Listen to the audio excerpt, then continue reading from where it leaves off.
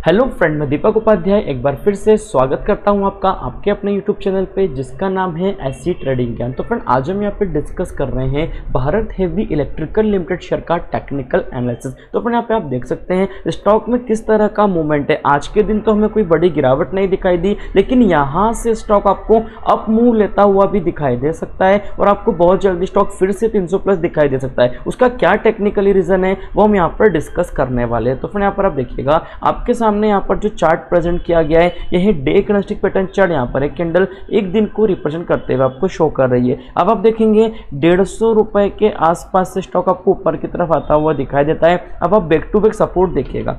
यहाँ से स्टॉक ऊपर चला सपोर्ट जनरेट करा, इसी लाइन पे। फिर स्टॉक ऊपर चला, यहाँ पर साइडवेज मोमेंटम दिखाई दिया और इस मोमेंटम पर फिर से स्टॉक ऊपर की तरफ़ चलता है। सपोर्ट आप देख सकते हैं, लगभग इस लाइन के आसपास आपको देखने को मिल रहा है। जिस तरह से यहाँ पर सपोर्ट हमें दिखाई दे रहे हैं, उसी तरह से ऊपर रजिस्टेंस भी है। कहाँ पर सपोर्ट और कहाँ पर रेजिस्टेंस है तो आप देखेंगे, फिर गिरा, नीचे सपोर्ट लिया, फिर से तेज़ी से ऊपर की तरफ़ चलता है, एक बार फिर गिरा सपोर्ट देखा, और यहाँ से स्टॉक ऊपर चला था, अच्छी तेज़ी दिखाई दी थी, लेकिन फिर से रेजिस्टेंस पे जा करके स्टॉक गिरता हुआ हमें दिखाई दे रहा है। एक बार फिर से स्टॉक कहाँ पहुँच गया है, लगभग लगभग अपनी सपोर्ट लाइन पर अब आप ध्यान से ऑब्ज़र्व कीजिएगा सपोर्ट कहाँ पर है, ये देखिएगा। यहाँ आपको सपोर्ट दिखाई दिया था, फिर आपको यहाँ सपोर्ट दिखाई दिया फिर लगभग लगभग यहाँ भी सपोर्ट दिखाई दिया, यहाँ भी दिखाई दिया और एक बार फिर हम देख रहे हैं इसी सपोर्ट के आसपास स्टॉक आपको आता हुआ दिखाई दे रहा है। और एक चीज़ और ऑब्ज़र्व कीजिए, ये जो पतली ग्रीन लाइन आपको दिखाई दे रही है इस लाइन को ऑब्ज़र्व कीजिएगा। ये 50 दिनों के एक्सपोनेंशियल मूविंग एवरेज लाइन है और इसके ऊपर ही आपको स्टॉक चलता हुआ दिखाई दे रहा है। इसके नीचे स्टॉक नहीं आया है और यहाँ पर आने की कोशिश भी की लेकिन फिर से रिवर्सल लेके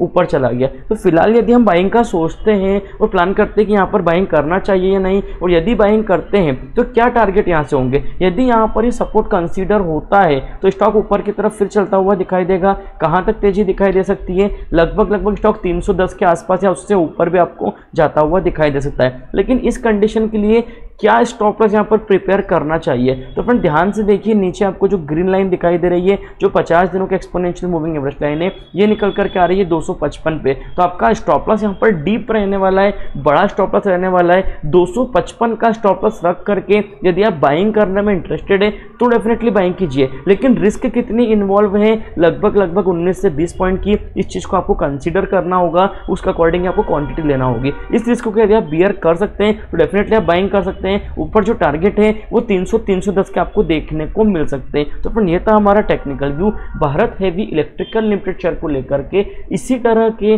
और भी वीडियो पाने के लिए चैनल को अभी लाइक शेयर और सब्सक्राइब करना बिल्कुल भी ना भूलें। Thank you so much for watching this video